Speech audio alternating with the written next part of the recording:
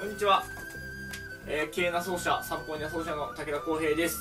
えー、本日はですね、えー、教本上の第2部と書いてあったかな、えー、ポックスイン外交もしくはパサカージェと呼ばれている部分の、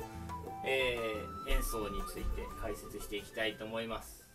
えーまあ、まず一度演奏しますね。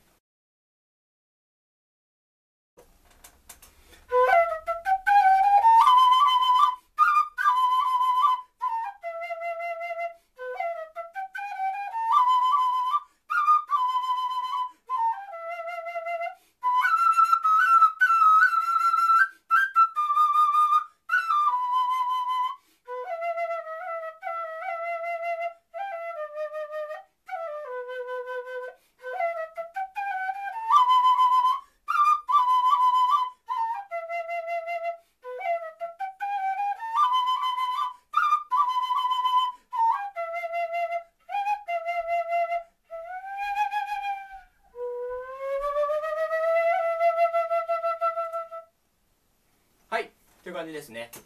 えー、この、えー、曲、ここの部分全体で気をつけてるのは、えー、しっかりリズム感がね、このザッザッザッザッザッザッザッザッっていうの行進曲のようなリズム感っていうのがあると思うんですけども、ここにしっかり乗っかれるかどうかというのがとても大事になってくると思います。そういうことで、アクセントですね。ザッタッタッタッタッタッタッタザータザーパパパンって特に頭ザッタッタッタッ、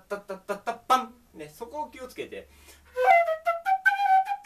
真ん中にも少しワッパッパッパザッタッタッタッタ頭が一番大きいアクセント。3拍目がまあちょっと小さめのアクセントみたいな感じで演奏しております。次の C メロあいや B メロディーのも。シミレミレミレミあこも。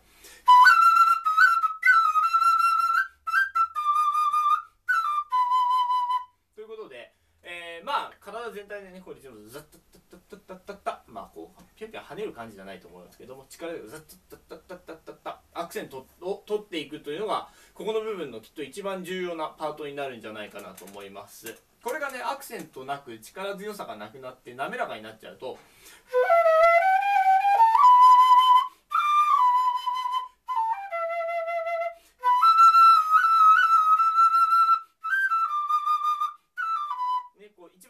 分との違いというのがあんま出なくなってきてしまうと思うんですね。まあ、まあ、ちょっと速いだけでちょっとメロディーが短いだけみたいな印象になっちゃうのでガラッとここは変えて演奏しています。で、えっ、ー、と、まあ、部分部分でということはないですけども、装飾音をね、特に多用してるかなという、こう指を回すようなの。今のミに行った瞬間。こう伸ばすとこなんかもう3つ打っちゃったりとかね。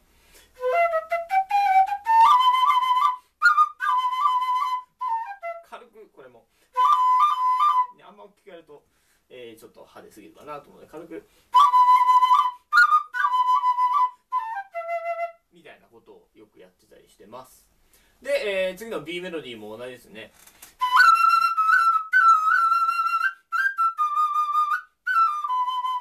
柳で吹いた時のように今度はこうソを伸ばしたりとかしちゃうとこのリズムから外れちゃうというかねこのリズムの良さが出ないと思うので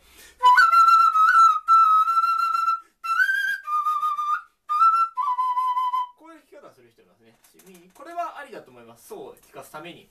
えー、ということでまあそうね。強引になんか無理やり伸ばそうと思わなくていいと思います。この第2部ではリズムにしっかり乗っかる。こういうことをねこのアクセントを取っていく。この辺りを意識して演奏していくといいと思います。で、えー、と最初のねイントロの動画でもお話ししたように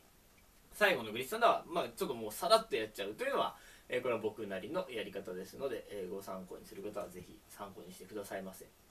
えー、それでは明日は最後ねワイニョの部分。ここはまたね指が難しかったりとかいろんなノリの難しさいろんなことがあります、えー、最後の部分も解説いきたいと思います。それではまたお会いしましょう。武田浩平でした。